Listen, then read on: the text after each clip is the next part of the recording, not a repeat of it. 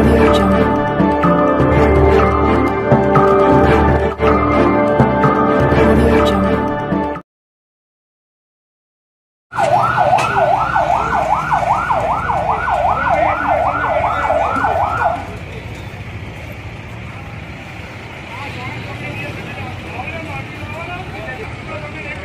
માટી લાવ જલ્દી માટી લાઈન નાખો માટી માટી લાવો ને એ બધા છોકરા ત્યાં ઉભા છે માટી લઈ લો ભાઈ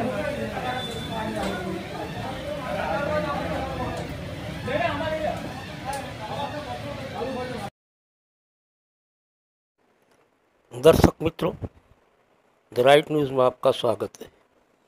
गुजरात के अहमदाबाद में आज ग्रीष्म ऋतु का सबसे ज़्यादा गर्म दिन रहा।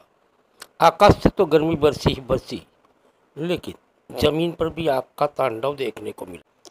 साड़न चौकड़ी के पास आए बीएसएनएल के डीजी रूम में गर्मी के कारण लगी आग। आसपास रहने वाले स्थानिकों ने मदद की और दमकल की गाड़ियाँ भी आग पहुँची आग को लिया काबू में जानहानि का कोई समाचार नहीं।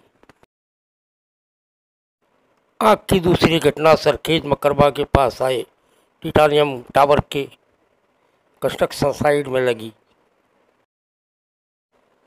कंस्ट्रक्शन साइट पर काम करने वालों के लिए जो रहायशी झुग्गियाँ बनाई गई थी, वो झुग्गियों में लगी आग।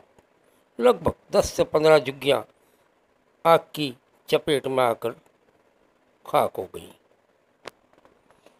जानहानि का कोई समाचार नहीं, दमकल की चार गाड़ियाँ स्थान पर मौजूद है और आग को ले रही है काबू में।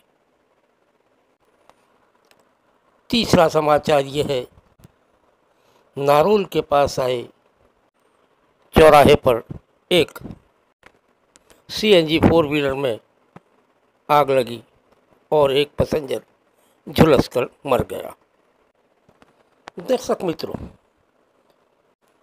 अगर आपको हमारी ये वीडियो अच्छी लगे तो प्लीज़ लाइक कीजिए, सब्सक्राइब कीजिए और बेल आइकन दबाइए, ताकि आपको अपडेट न्यूज़ मिलते रहे। और हाँ आपके आसपास बनती हुई घटनाएँ सामाजिक शैक्षणिक प्रोग्राम की वीडियो आलेख आप हमें भेज सकते हैं।